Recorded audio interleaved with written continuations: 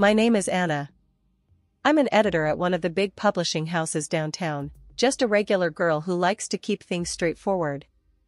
Life's always been a hustle, what with juggling deadlines and squeezing in some me time. That's probably why I never really got into the whole dating scene much. I preferred my own company, usually with a good book or a quiet walk in the park near my apartment.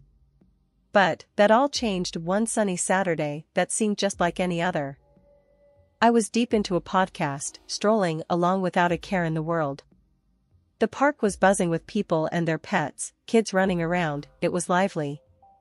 I guess I lost track of where I was walking because the next thing I knew, a guy on a bicycle nearly collided with me. Watch it, he yelled, swerving at the last second.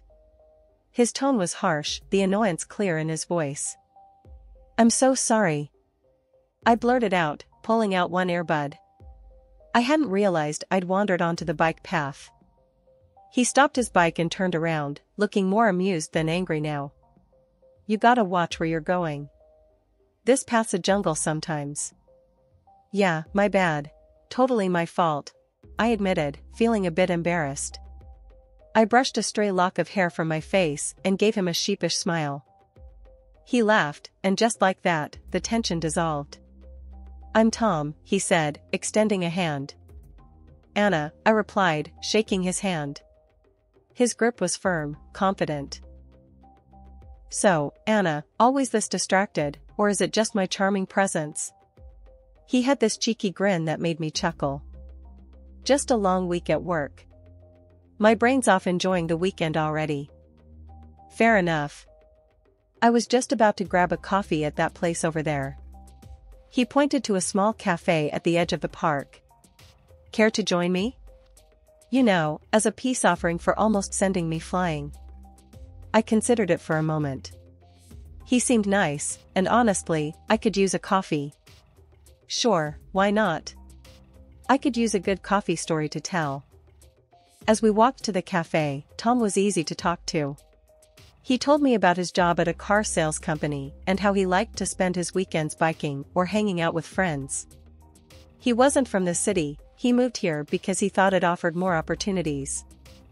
You know, big city dreams and all that, he said with a smirk. I shared a bit about my job too, how I loved books and ended up making a career out of that passion. Beats being stuck in a cubicle doing something you hate, I added. We reached the cafe and ordered our coffees. While we waited, I couldn't help but notice how comfortable I felt around him. It was strange because usually, I'm a bit reserved around new people. But with Tom, the conversation just flowed. After meeting Tom, we started hanging out more. He was funny and easygoing, but it wasn't long before I started noticing little things that bugged me. It was nothing major at first, just small comments here and there that made me raise an eyebrow. One Saturday, we decided to go out for dinner, and somehow, the topic of careers and family came up. We were just chatting about work and life, nothing serious, or so I thought. So, how's the book world treating you? Tom asked, taking a sip of his beer. It's busy, as always. Deadlines don't stop for anyone. I replied, poking at my salad. Yeah, I get that. But you wouldn't want to be stuck in that forever, right? I mean, eventually, you'd want to settle down, maybe cut back on the work hours, he said, casually. I paused, fork midair. Not really, Tom. I love what I do. I don't see myself giving it up anytime soon or ever, really. Tom shrugged. Sure, but what about when we have kids? Wouldn't you want to be around more? The question caught me off guard. We? I chuckled nervously. That's jumping way ahead, don't you think? He laughed it off. Yeah, you're right. Just thinking out loud, I guess. I tried to shake off the discomfort, but it lingered. A couple of weeks later, Tom invited me to have dinner with his parents. I figured it was a good sign, things getting serious and all. I was nervous, but hopeful. That dinner, though, it opened my eyes a bit more. His parents lived in a cozy, well-kept house in the suburbs. His mom, Mrs. Reed, was all smiles when we arrived.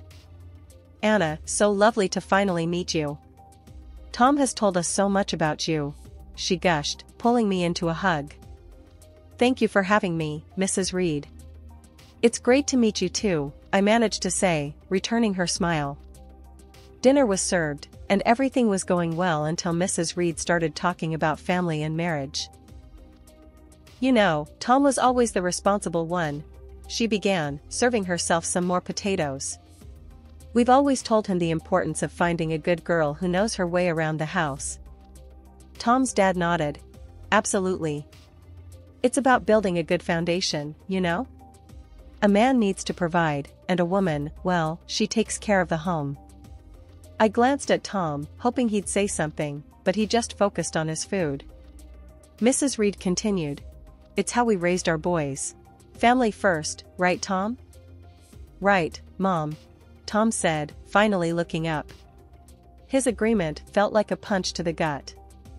I tried to keep my cool. It's interesting because I've always been pretty career-oriented. I love my job, and I believe in contributing equally. Mrs. Reed smiled, a bit too sweetly. Of course, dear. But you'll see, priorities change when you start having children. It's only natural for a woman to want to stay at home with her babies. The rest of the evening, I felt like I was in a fog. We left shortly after dinner, and on the drive back, the air between us was tense. Your mom has some strong opinions about family roles, I said, breaking the silence. Do you see things that way too? He hesitated, then said, I think there's some truth to it. I mean, it worked for my parents. Despite the uneasy dinner with Tom's parents, our relationship marched forward. Somehow, the good times seemed to outweigh the bad, and I found myself agreeing to marry him. Looking back, love must have blinded me because those warning bells were still ringing in the back of my mind. The wedding planning started, and it was all a whirlwind. Tom wanted something simple, and so did I. We decided on a modest ceremony with just close family and friends. As the day approached, the real pressure began to mount, not about the event, but about what our lives would become afterward. After the ceremony, at the reception, Tom's mom pulled me aside. Her smile was wide, but her eyes were serious. Anna, dear, I'm so happy for you both. Remember, a good wife supports her husband no matter what. Thank you, Mrs. Reed. I intend to be a supportive partner. I replied, trying to keep my voice steady. And remember, dear, when the babies start coming, it's best if you're at home. You can't trust strangers to raise your children. Her words felt like a warning, and the finality in her tone made my stomach turn. I just nodded, not trusting myself to speak. Later, Tom and I had a moment alone. Your mom talked to me about kids and me not working, I started, watching his reaction closely. Yeah? She's just looking out for the future. She means well, Anna. You know how moms are. Tom brushed it off, taking a sip of his champagne. But you know I'm not planning to quit my job, right? Even when we have kids. I pressed, needing him to understand. Tom paused, his face serious. We'll see, Anna. Things change. We'll do what's best for our family. After our wedding, Tom suggested we move to a larger apartment, closer to his work at the car sales company. The place was nice, bigger than our old one, but it was right next door to his parents' house. I had my suspicions about why he chose this particular spot, but I agreed, hoping for the best. Once settled, the reality of our new life together began to surface. Tom started bringing up his idea of a traditional family more often, where he would be the breadwinner and I would handle the household and eventually, the kids. One evening, we sat down with our finances spread across the dining table, a mess of bills and budgets under the dim light. I tried to show him how keeping both our jobs was more beneficial, especially with the economy being unstable. Look at these numbers, Tom. With both incomes, we're not just getting by, we're actually saving. It makes no sense for me to quit my job, I said, pointing at the spreadsheet. Tom shook his head, pushing the papers away slightly. It's not just about the money, Anna. It's about having a real family life. You know, like my parents had. I sighed, my frustration growing. But it's not the past, Tom. Things are different now. We both need to contribute. He didn't seem convinced, and the discussion ended with a heavy silence. The situation got more complicated with his mother, Mrs. Reed, living so close.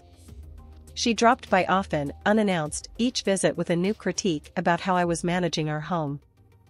One afternoon, I was sorting through some work emails when she came in. Without a greeting, she started inspecting the house, wiping her finger along the bookshelf looking for dust. Anna, you really should focus more on keeping a cleaner house.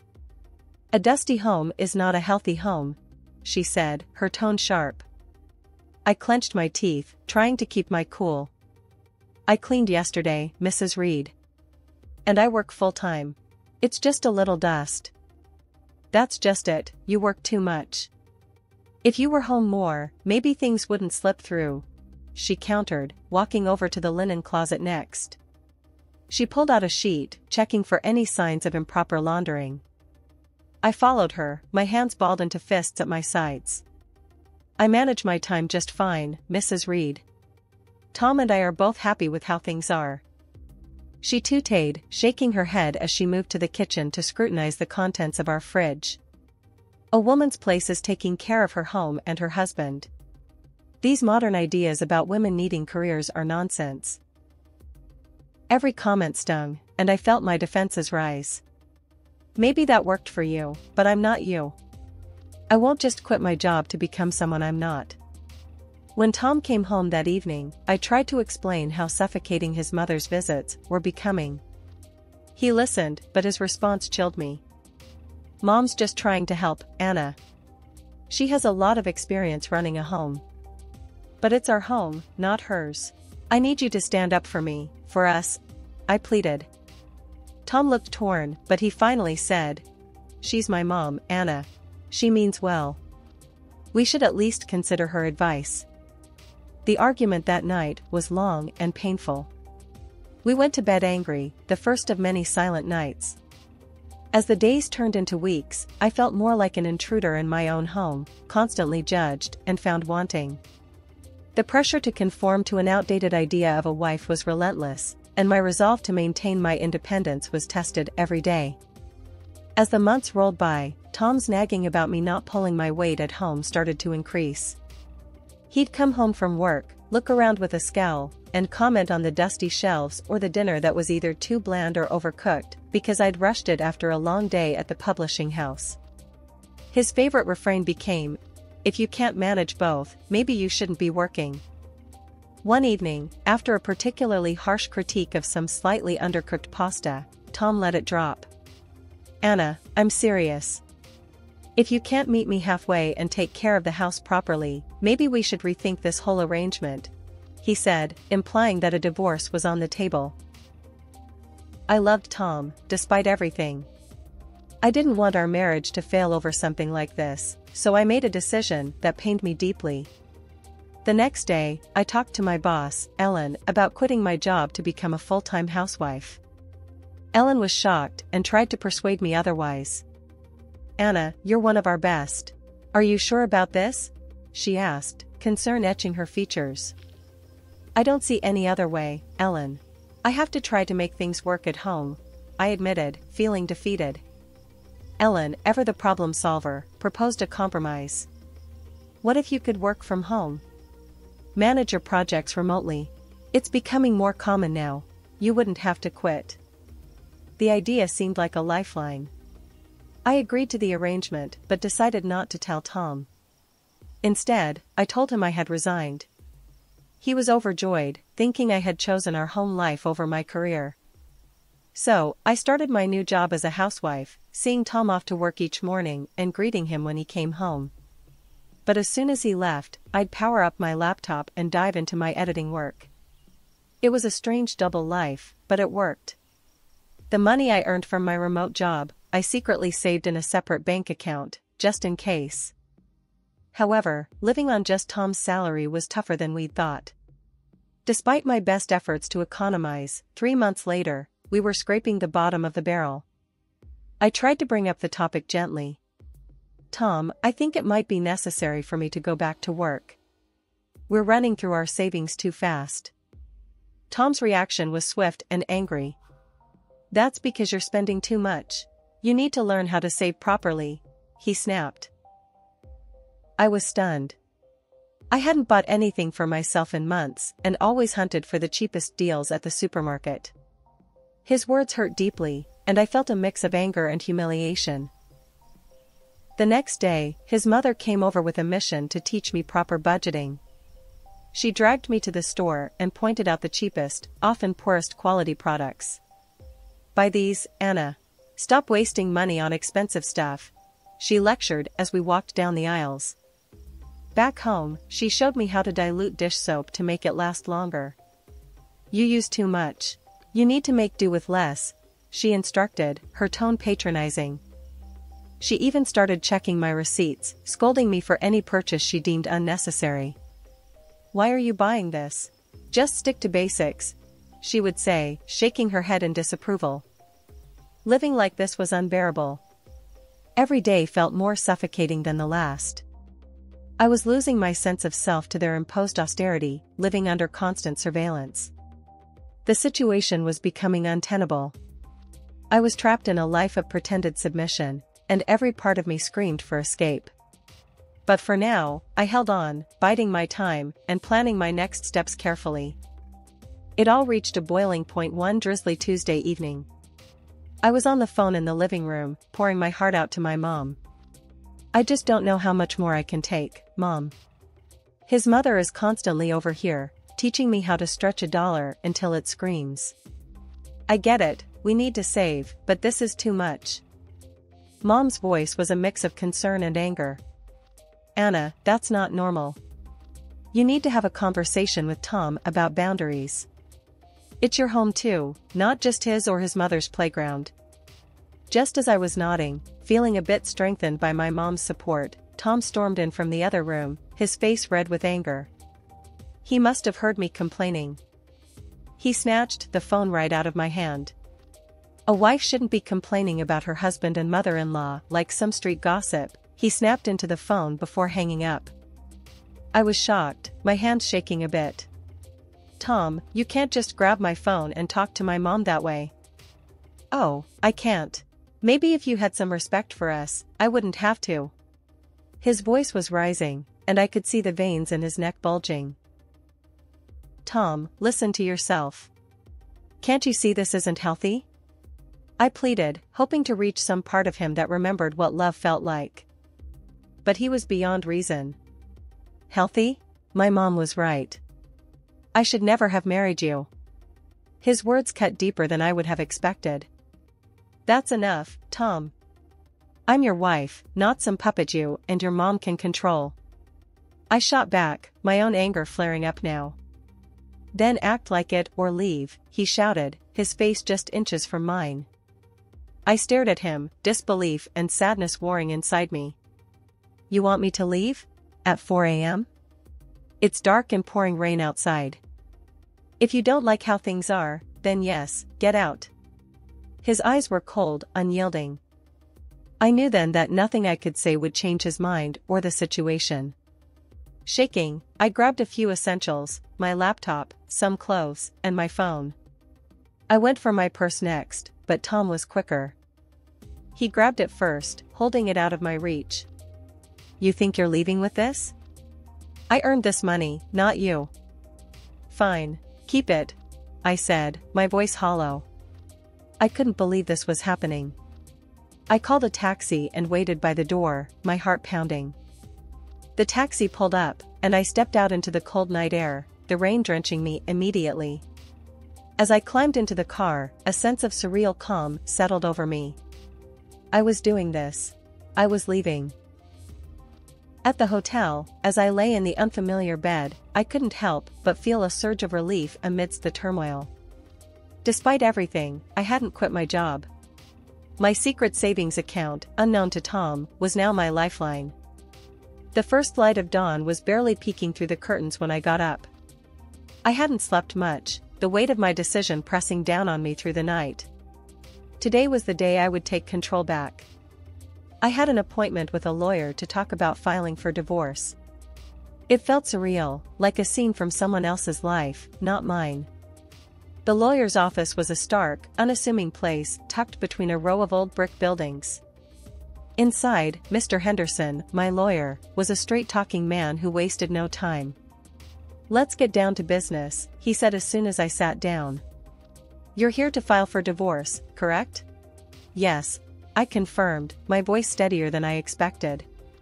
I can't go back to the way things were. Mr. Henderson nodded, his face serious. Alright. I'll need all the details. Any joint accounts, property, anything that needs untangling. We spent the next hour going over everything. He explained the legal process, what I could expect, and what my rights were. He was thorough, ensuring I understood every step before drawing up the necessary documents. You'll need to serve these to your husband, he instructed as he handed me the envelope, sealed with a stamp that felt like the seal on my old life. Armed with the divorce papers, I went back to the apartment I had shared with Tom. He was still asleep, probably exhausted from last night's fallout. The apartment felt different as I packed my things, every item I tucked away marked the end of another shared chapter. By the time I finished packing, Tom was stirring. He wandered into the kitchen, bleary-eyed and clearly confused to see my bags piled by the door. What's going on, he mumbled, scratching his head. I didn't have much to say, just actions to take. Instead of answering, I handed him the envelope. These are for you, I said, my voice void of the emotion I felt churning inside. Tom tore open the envelope, a frown forming as he scanned the contents. Divorce, he laughed, disbelief lacing his tone. You think you can just walk out and everything will be alright? He looked up from the papers, his eyes cold. Come back when you're ready to apologize, and maybe I'll consider taking you back. But remember, you'll have to listen to my mother from now on. The absurdity of his words almost made me laugh, but I held it back. I'm not coming back, Tom. I'm done. We're done. Walking out of that apartment, the air felt different, crisper, almost hopeful.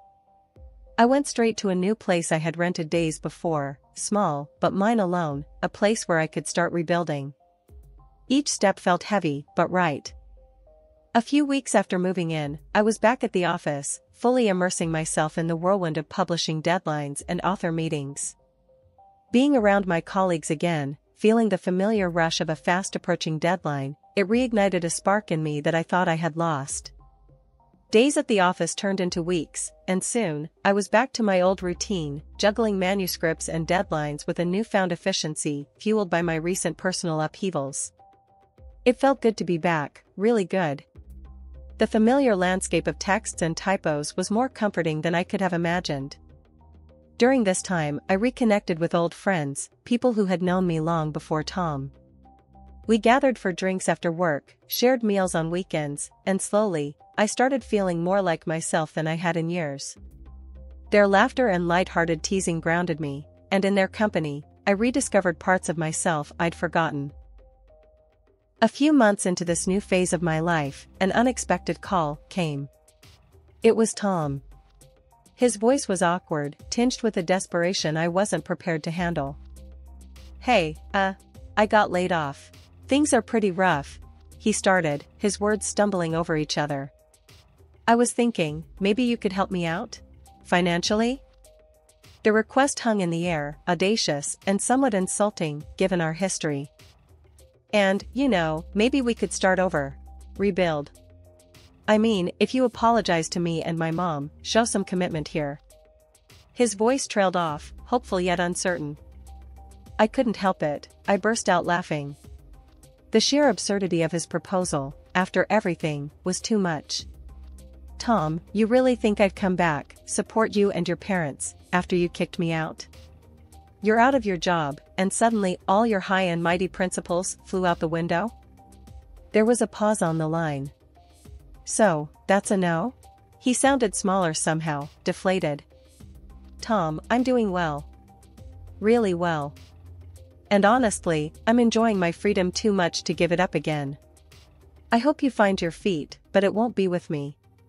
My words were firm, the final nail in the coffin of our relationship. After hanging up, I felt a surge of empowerment. Tom's call, although ridiculous, had affirmed something vital for me. I was truly free now, and no offer or plea was going to change that.